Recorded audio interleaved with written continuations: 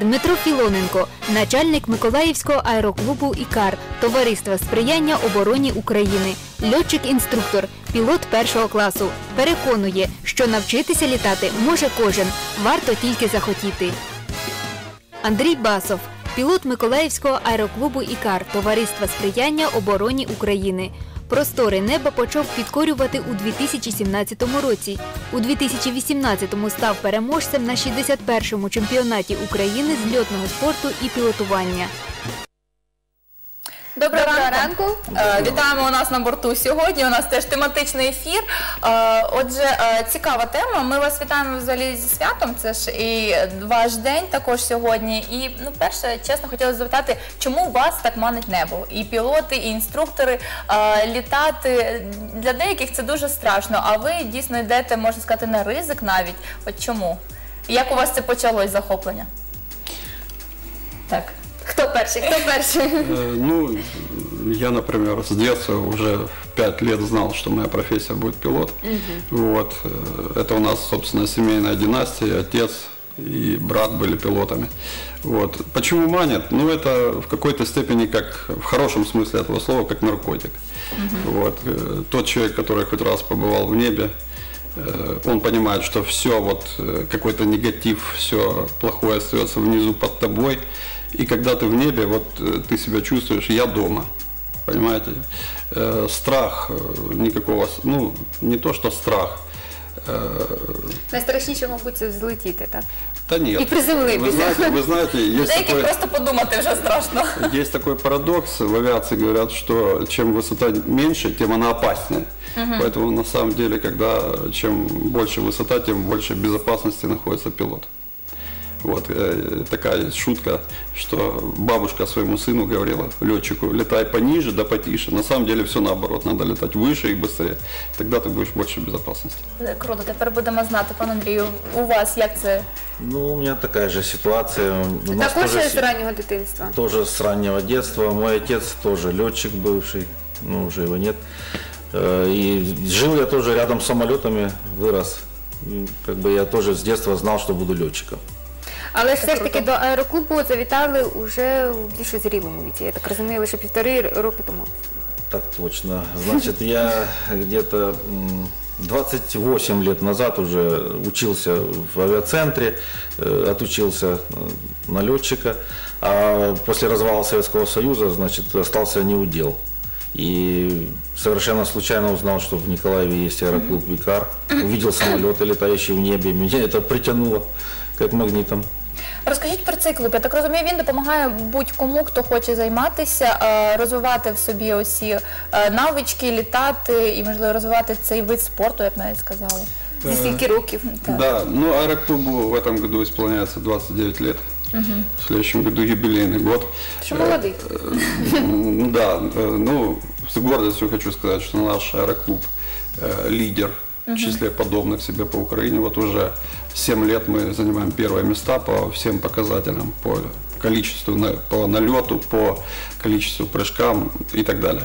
Вот. В принципе, любой желающий может заниматься у нас в аэроклубе. У нас два основных направления деятельности. Это прыжки с парашютом и самолетное звено. Вот Андрей, это представитель самолетного спорта.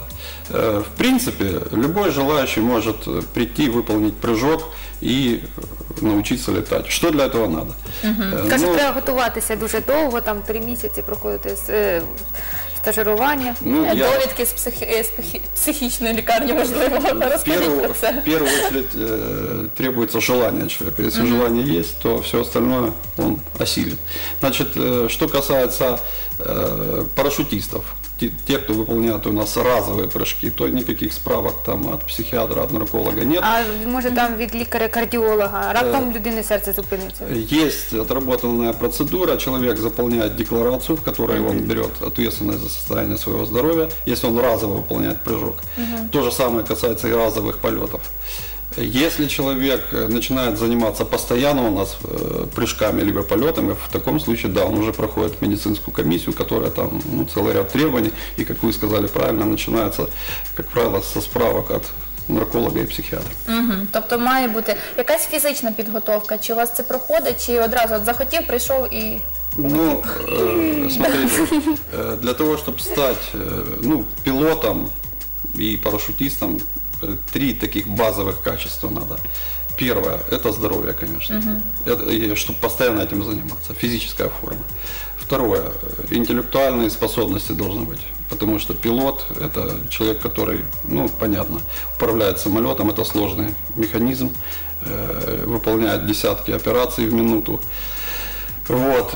И третье э, это чувство ответственности. Потому что человек, которому доверяют самолет, опять же, тут объяснять, наверное, не надо, это должен быть ответственный человек, очень серьезный, который подходит ко всему основательно. Вот, вот такие качества требуются для человека. Э, К сожалению, хочу сказать, что вот в основном у нас занимаются э, самолетным спортом. Это люди среднего возраста. Э, Вообще хотелось бы, конечно, чтобы побольше было молодежи, имеется в виду 18-19 лет, но причина одна. Ну, я вам можу п- привезти сім років. Да, при- причина, причина, кстати, вот приходят ребята там и 12-13 лет, мы их берем, они занимаются, но э, прыжки и полеты могут выполнять только с 14 лет. Парадокс в том заключается, что, э, значит, летать можно с 14 лет, а самостоятельно летать в 16 лет. А вот, например, права с 18 лет. То есть летать можно с 16 и А самостоятельно. то просто практика, напрацьовується практика. Да. Вот. Так вот, я хотел закончить мысль свою, что, к сожалению, основной контингент людей, которые выполняют полеты и прыжки, это люди среднего возраста, состоявшиеся люди, которые уже, ну, я имею в виду, в первую очередь, состоявшиеся как э, финансово. Э, Жаль, что государство у нас не интересуется этим. И э, вот те ребята, которые приходят, максимум выполняют один-два прыжка за свои средства, потому что аэроклуб не находится ни на бюджете, э, ни на городском, ни на... Вот рядом, например, есть Херсонский аэроклуб, который находится на областном бюджете. И там дети со всей Херсонской области выполняют бесплатные прыжки, полеты. У нас такого нет. Я знаю, що часто у вас відбуваються пот- різноманітні акції, там з- знайомити дітей з е, літаками і так далі, так? Да, это правда. Э, Мы проводим, ну, нельзя сказать, что очень часто, но по желанию, когда поступает заявка, мы всегда... Для группы детей, так? Да, конечно, мы всегда идем навстречу, и различные экскурсии, и в летные дни, посмотреть, как выполняются прыжки, полеты. Двери нашего аэроклуба всегда открыты, и даже вот бывает просто у нас идут полеты, там останавливается машина, отец Можно с сыном, подивитися. да, там кричит, можно посмотреть самолет. Конечно, это, это хорошо, что люди интересуются, дети, это мы только приветствуем. Пане Андрію, розкажіть про себе. От, е, зокрема, розкажіть про свою професію, тобто пілот. Пілот. Так, е, ви от е, брали участь у різних змаганнях і вже маєте е, стаж великий. От е, чи були у вас якісь колись курйози під час польотів? Бо це завжди, знаєте, е, наче готуєшся, все нормально, але інколи бувають якісь е, негаразди. От розкажіть про це і як ви з них Виходили, можливо. Що таке найцікавіше Як було за втратити польот? на, на Знаете, самовладання? да, пока у меня, слава богу, не было таких случаев. Но готовлюсь всегда. Да, как бы у нас есть такая, э, как бы, подготовка специальная на всякий пожарный. Мы тренируемся, например, э, садиться, если двигатель выключился случайно. Вот, и как бы готовимся постоянно, но слава богу, такого не было. Вот. э, На, на соревнования я попал тоже, как бы это мне уже, я только начал учиться летать, ну, повторно. Вот, в прошлом году, ну, поза- это получается полтора года назад.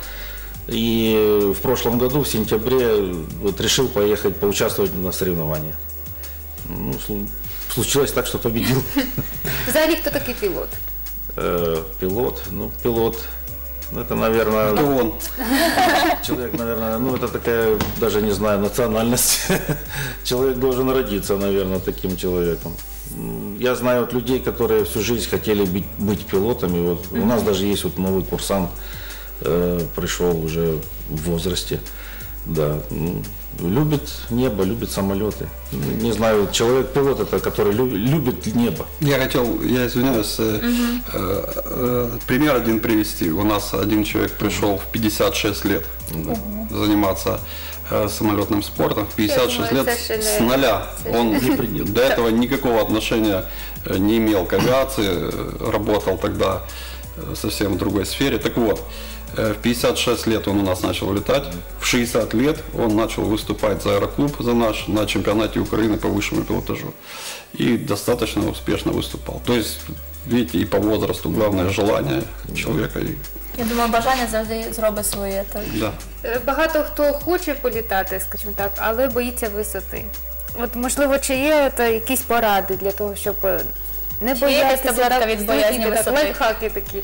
Ну, вообще... Може, бо- як ото кажуть, клин буває климат, ну так і це. Можливо, е, для того, щоб перестати боятися висоти, потрібно спробувати піднятися на неї. Точно. Да. Точно. Вообще боязнь высоты это совершенно нормальная боязнь. И у нас в авиации шутят, что не боятся высоты только понятно кто. Не совсем нормальные люди. Вот. Нормальный человек, естественно, это природная боязнь.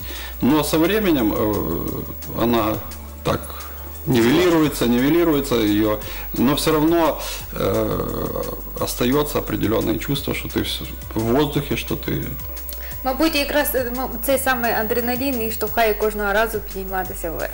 Точно. Тому що Ну, щоб дуже розслабився, що вже ну там злетів і злетів все. Я думаю, так? треба один раз спробувати, і далі воно вже само піде. І хоч боїшся чи не боїшся, все одно будеш стрибати літати. Я дякую вам, що завітали. Ми дякуємо, тому що це дійсно класна тема. Е, І розвиток такого спорту, хоч і за свої кошти поки що в Миколаєві, але це дуже круто, що не опускаєте руки і дійсно даєте можливість тим, хто хоче цим займатися, е, спробувати себе так і потім розвивати. Це дуже круто. Дмитро Філоненко, начальник авіаклубу Ікар та Андрій Басов, пілот, сьогодні були у нас в гостях.